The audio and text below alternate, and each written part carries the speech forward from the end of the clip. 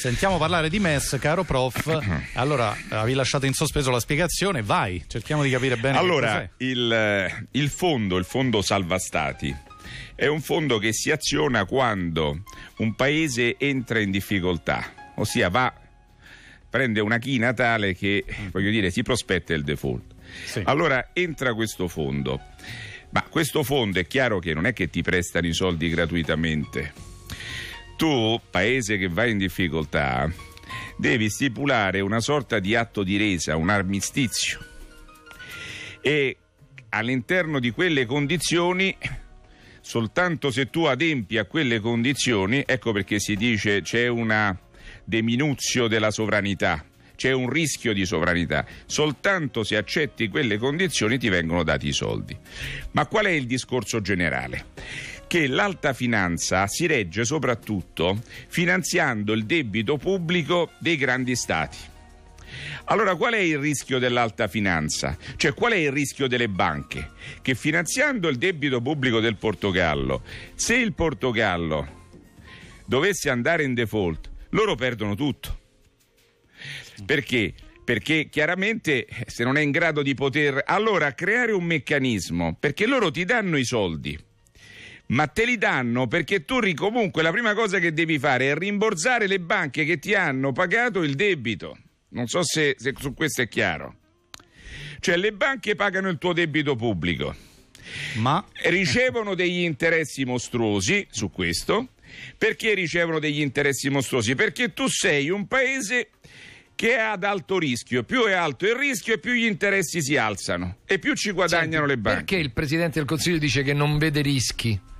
Cioè, cerchiamo di capire perché presidente... allora c'è chi, eh, eh, tutti, tutti ah. quelli del PD per esempio, no? che eh, c'è gente che anche si stima, voglio dire... Però Ma, come allora, mai si schierano così per l'Italia, compatti? Per l'Italia i rischi, sai perché non ci sono? Perché l'Italia, se crolla l'Italia, o l'Italia o la Germania o la Francia crolla, crolla. l'Europa. Crolla l'Europa. E l'Italia poi non corre grandi rischi perché gran parte del debito pubblico italiano non è finanziato dalle banche tedesche e francesi ma è finanziato dagli italiani. Dal popolo, dal sì, popolo sì. italiano. Il 60-70 ce l'abbiamo. Ma questa è un'operazione che viene fatta soprattutto a favore delle banche teutoniche che sono a garanzia, cioè loro, loro prestano soldi e ricevono interessi altissimi su una marea di paesi dell'arco mediterraneo, della parte balcanica. Oh, è chiaro che se falliscono questi paesi eh, debbono creare una rete di protezione. E questa rete di protezione però è una rete di protezione non gratuita, cioè chi tesse quella rete, il ragno che tesse quella rete, poi ti si mangia. Perché tu devi, per ottenere quei soldi ed evitare il default, che cosa fai? Sottoscrivi un ammestizio con quella, con quella gente che ti dà i soldi, cioè con quel fondo. Con l'Europa tu sottoscrivi un armistizio, un atto di resa. Senti, ma e allora, e allora ecco, però bisogna tornare a livello concettuale perché il fondo Santa, salva stati è una cosa dal punto di vista concettuale che non va bene? Perché tu invogli lo Stato che già sta in difficoltà a dire ma tanto c'è il fondo, per cui io la mia irresponsabilità la protraggo ai massimi livelli, per cui popoli- politiche populiste, sfascio dei conti pubblici, no, perché tanto c'è il fondo, ma il fondo non è gratis il fondo deve andare a proteggere gli interessi delle banche che hanno finanziato quel debito pubblico fallimentare. Per cui per non perdere tutti quei soldi entra il fondo ma quando entra il fondo tu sottoscrivi come paese una declaratoria di punti nella quale c'è rifondere tutte le banche che hanno prestato i soldi e 1, 2, austerity ai massimi livelli e 3, ti vendi tutti gli asset finanziari, portuali, eh, fluviali e tutto quello che c'hai. Fai un piano di rientro dei vent'anni, fai capito? Strozzi la gente, prelevi i soldi sui conti correnti per il 6, 7, 10, 15 per 1000. Capito? Un disastro. Un disastro. allora, scusa, cosa... prof, non ce la raccontano eh. tutta. Allora, eh. quando si prendono queste decisioni, perché in Europa la politica non esiste. La politica in Europa, cioè le decisioni, le prendono i capi di Stato o i paesi che hanno capo di Stato e presidente dell'esecutivo è demandato a questo compito il presidente dell'esecutivo, però lo deve fare dietro un mandato che è quello del Parlamento. Qui c'era una risoluzione del Parlamento che diceva fermo, non dare, non dare voglio dire, non andare avanti senza aver eh ma, sentito il Parlamento. Eh ma so, sembra che siano andati avanti. Eh, ho capito, questo, è questo che contestano al Presidente del Consiglio. Che il Presidente del Consiglio si sia in qualche misura faccia il maggiordomo del... Ma questo purtroppo le poltrone bisogna viverle con dignità e per viverle con dignità eh, non, non, eh, questo adesso al di là del Presidente del Consiglio, dico in termini generali, quando si ricopre un incarico, sono due le cose che tu puoi fare, che devi fare, cioè che non, quelle non, non sono, eh, a mio giudizio, eh, eh, la corruzione, tutti i fatti secondari, sono due cose, tu non ti devi vendere perché si può essere rispettosi al massimo della corruzione, ma se tu ti vendi, vendere che significa? Che se tu assecondi una delibera che dal punto di vista della legittimità è perfetta, ma sfascia quell'azienda, e tu non stai facendo il tuo dovere in quel consiglio di amministrazione. E la dignità, la dignità è quando tu voti qualcosa in cui credi e non qualcosa che va a vantaggio esclusivamente dei tuoi interessi per cui non ti devi vendere e devi mantenere alta la dignità. Poi, se vuoi essere perfetto, devi fare anche altre cose. Però questi, su questi due punti eh, tu non devi mai derogare, mai, perché se no fai altri interessi e sei pure pericoloso. Questo non è riferito a Conte, dico in termini generali, eh?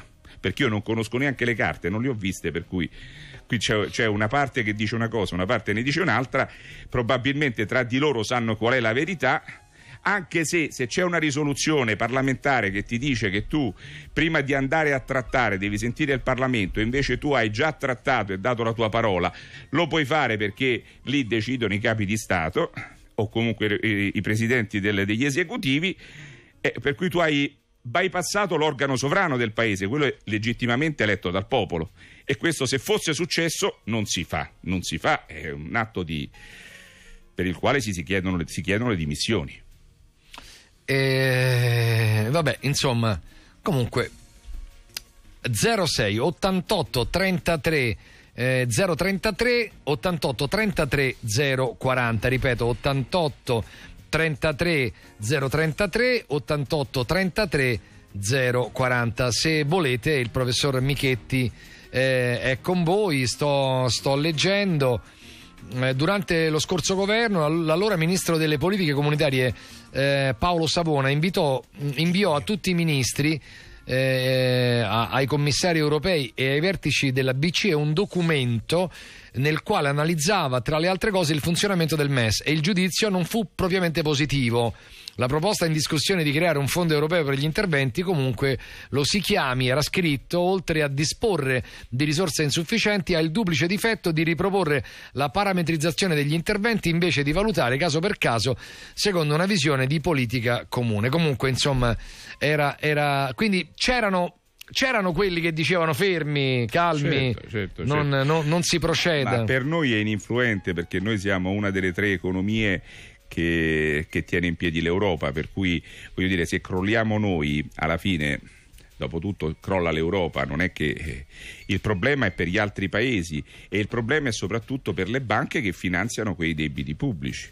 E quindi è chiaro che il, il paracadute per la banca, non è per lo Stato. Per lo Stato a quel punto diventa uno Stato servente, un'economia servente rispetto a un'economia dominante. E l'economia dominante è quella teutonica, perché voi andate a vedere i fondamentali della Germania, guardate il debito pubblico tedesco, guardate, voglio dire, quello che agevola la politica economica tedesca, l'inflazione a zero, cioè tutto ciò che riguarda l'euro è stato fatto ad immagine e somiglianza del marco e questo vale più di una guerra. Di una... La seconda guerra mondiale era stata creata, fatta da, da Hitler, per conquistare l'area balcanica che doveva essere un'economia a servizio della grande Germania. E poi anche parte dell'area mediterranea doveva svolgere questo compito. Adesso si è creata una diarchia, un comando a due. Francia e Germania, ma la Francia soffre perché non ha quei fondamentali dell'economia la Francia no, cerca di andare appresso alle, alla Germania, ma non ce la fa. Dal, I tedeschi, una volta che si sono. Andreotti che diceva sui tedeschi? Li amo talmente tanto che la Germania che ne voglio sempre due. Ma perché? Perché quando la Germania è unita hanno fatto immediatamente un, un, una, un asse con altri 16 paesi E a quel punto tu sei sempre minoranza in Europa.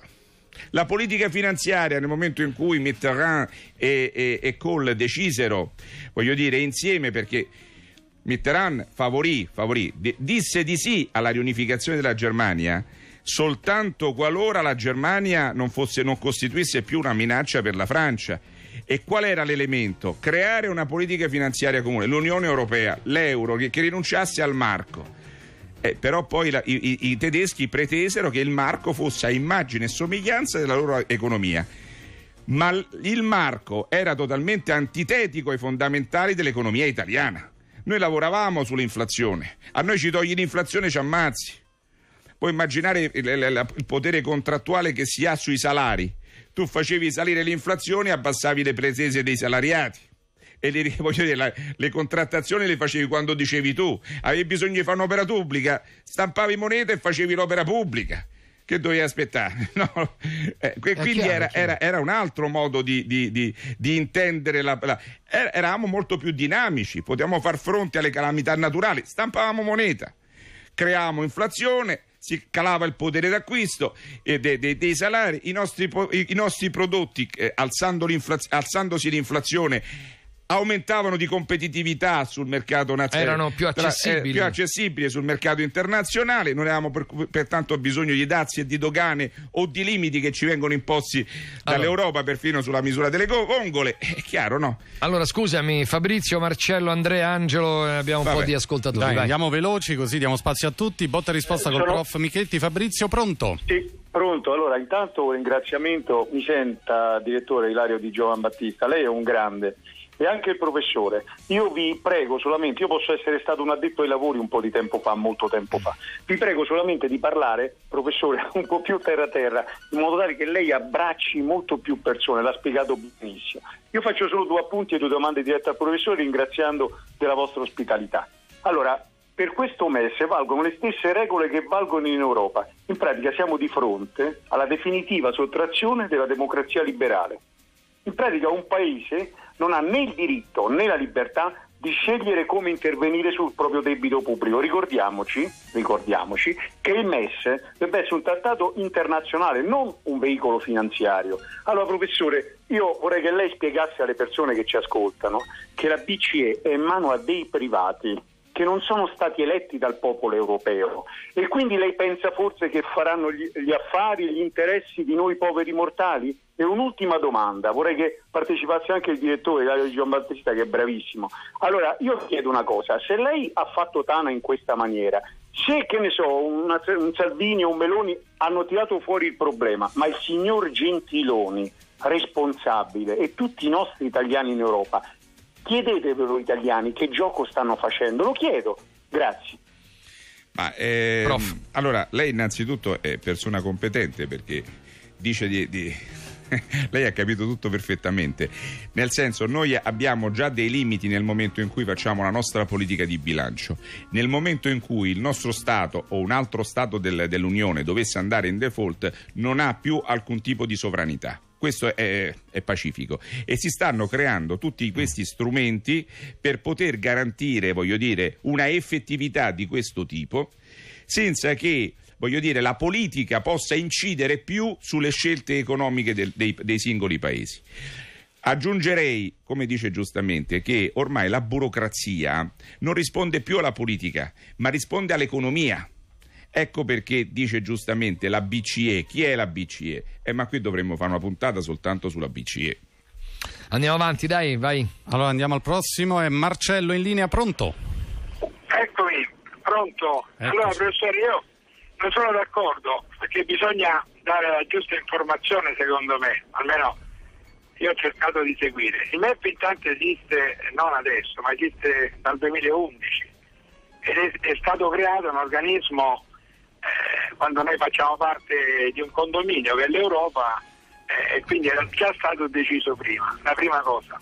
La seconda cosa non credo che ci siano dei privati. La BCE fino all'altro mese noi avevamo a Mario Draghi e fortuna che c'è stato lui che ha salvaguardato non solo eh, l'euro ma è anche, anche, anche l'Italia. Io quello che ho capito è che al di là che non abbiamo rischi eh, noi come Italia perché il nostro debito, come lei spiegava, eh, fortunatamente è sostenibile.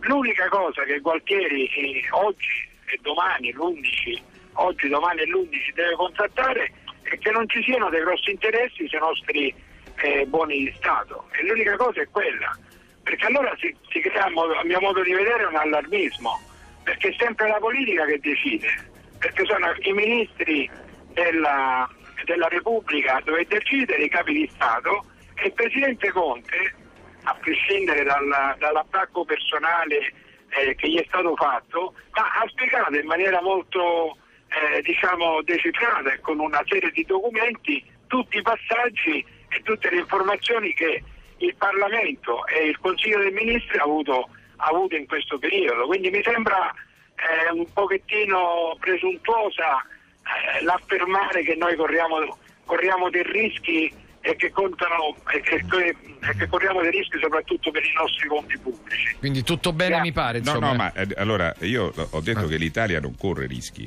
ho detto, anzi ho detto esattamente il contrario. No, la ricostruzione non è proprio così. Il fondo nasce nel momento in cui noi nel 2008 abbiamo, registriamo una crisi che nasce dalle banche e, e poi si protrae in Europa qualche anno dopo e nel 2010 riusciamo a capire, a comprendere attraverso attività di istruttoria che si fa all'interno delle banche, soprattutto quelle italiane all'inizio, pensando che fossimo noi quelli un pochino più deficitari, invece scopriamo che le nostre banche erano quelle più oculate quelle che avevano gestito meglio il credito. E invece vediamo delle voragini, soprattutto dove dire, i crediti erano stati, eh, si erano incagliati in ragione di accesso molto, sempli, molto facilitato ai derivati da parte delle banche tedesche. Per cui le grandi banche tedesche vanno in difficoltà, per cui il fondo viene creato soprattutto perché quegli stati che possono fallire, e c'era la questione della Grecia, quegli stati che possono fallire mettono in difficoltà, possono far crollare le banche soprattutto tedesche e francesi che finanziano quel debito. Ecco perché nasce il fondo. Non ci sono altre ragioni, tant'è che nella discussione poi è sparito, addirittura il fondo poteva rifondere prioritariamente, direttamente le banche prima che gli stati. Andiamo avanti. Ancora due ascoltatori. Dobbiamo essere veloci. Eh. Andrea, uno, uno. uno, uno. Sì. Andrea, pronto? Pronto, buonasera, buonasera. a tutti una cortesia, vorrei che lei mi spiegasse nei fondamentali del calcolo della situazione economica di una nazione perché non si, usu, non si usa mai il parametro del diciamo, credito privato, cioè, ossia l'ammontare del risparmio giacente nei, diciamo, nei gruppi bancari che è fornito da quello che praticamente ha un cittadino, cioè quello che stanno per aggredire qui in Italia.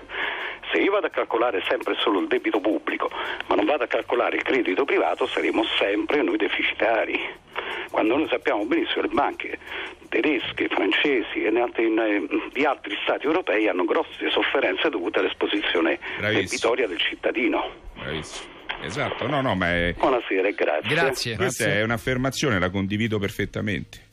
La condivido perfettamente perché noi abbiamo delle banche che, voglio dire, è chiaro che nei periodi di particolare crisi le banche hanno eh, dire, una sofferenza che, che, che deriva dalla, dalla, purtroppo da, da quella che è la realtà del mercato però molto spesso fanno anche attività di natura spregiudicata, no? molto spesso vanno diciamo, oltre il loro limite. Le banche italiane sono tra quelle diciamo, all'interno dell'Europa comunitaria quelle più oculate, quelle che prima di darti i soldi ci pensano una volta ma cento, per cui si sono trovate meno eh, coinvolte in quella che era quella, la grande crisi del 2008, che poi in Italia è arrivata nel 2009, 2010, 2011. Bene, allora prof, eh, eh, niente, mm, secondo te come va a finire? Perché... Eh...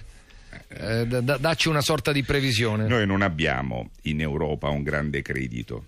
Perché? Perché in questo momento, per credito di, di, intendo un potere di, incidi, di incidenza mm. sulle politiche no? che, si, che, fa l'Europa. Quindi andrà come hanno deciso. Insomma. Andrà come hanno deciso. In Europa si sta confermando una diarchia Francia-Germania, ma la, Fran- la Germania sta staccando la Francia.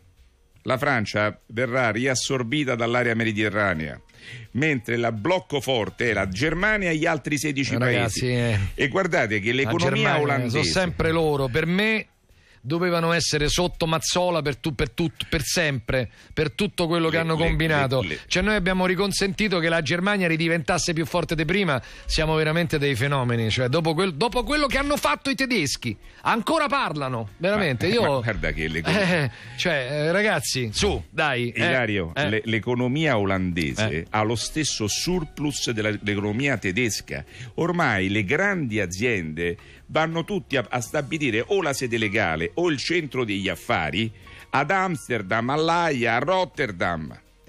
Cioè questo, questo Sì, dovrebbe sì, far sì, comprendere qualcosa. E soprattutto adesso che non ci sarà più la City londinese, eh, vedrete che, che- che tutto si trasferirà tra Francoforte, l'asse tra Francoforte ed Amsterdam.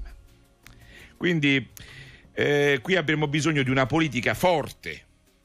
Noi dovremmo essere quelli che, che gestiscono l'area mediterranea. Sovra- Noi abbiamo la seconda economia d'Europa. Comunque, voglio dire, la Francia è perché c'ha un potere energetico superiore al nostro, hanno le centrali nucleari, noi abbiamo fatto delle politiche che ci hanno ucciso, ma noi effettivamente potremmo, i nostri fondamentali, se avessimo un governo di qualità, e non dico questo, quello, que- l'attuale, quello di prima, quello di prima ancora, sono 30 anni che non abbiamo più un governo di grande qualità. Con un governo di grande qualità, in 5 anni abbiamo gli stessi numeri della Germania.